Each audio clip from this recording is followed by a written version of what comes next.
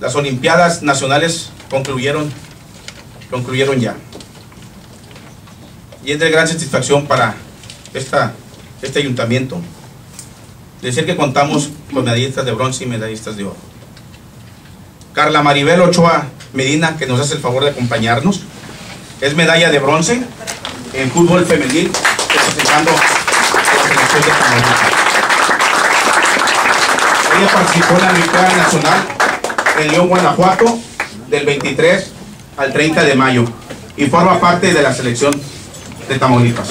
Entregamos al nombre de.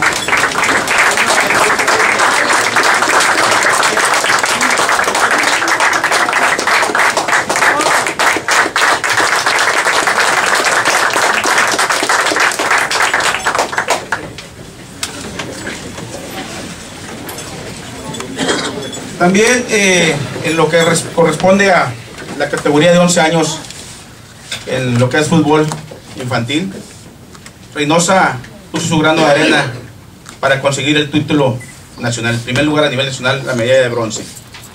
Eh, Reynosa integró la selección Tramaulipas con tres niños reinocenses. El caso de Víctor Manuel Medellín Jiménez, de 11 años de edad, Héctor Iván López Castillo y de Jesús Salvador Ortiz Tijerina. Ellos forman parte de la Liga de Fútbol.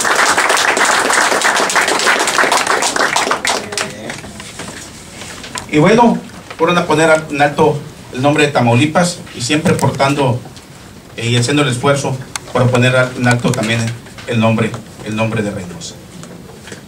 Mención especial merece un joven que desde los 8 años está dedicado al deporte de voleibol de, de sala. De que los 8 años se ha dedicado y que eso lo ha, llevado a obtener excelentes resultados. Eso al día de hoy lo ha llevado a formar parte de la selección nacional de voleibol sub-17. A pesar de que él tiene 17 años, él forma parte de la selección sub-19. Entonces es un orgullo contar hoy aquí en esta sala de Cabildo con Adrián Argenis Acosta Basarte.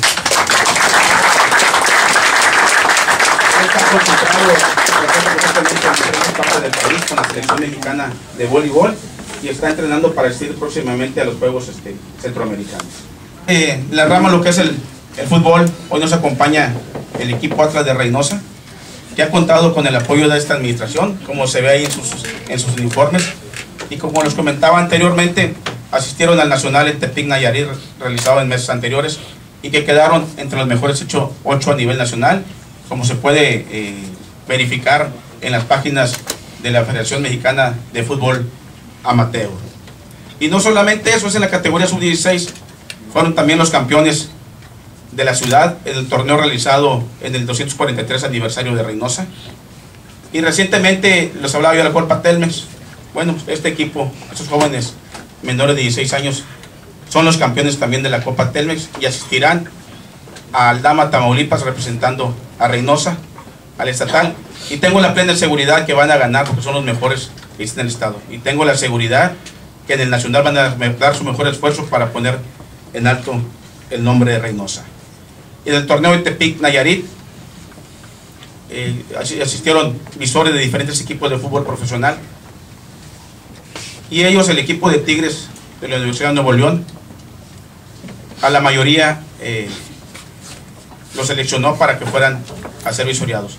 Por lo cual el día de mañana eh, todo el equipo se traslada a la ciudad de Monterrey, a Suazua, a jugar un partido con el equipo eh, de Tigres para ahí ver quiénes de ellos puede quedarse ah, en, las, en las reservas de, de- este equipo.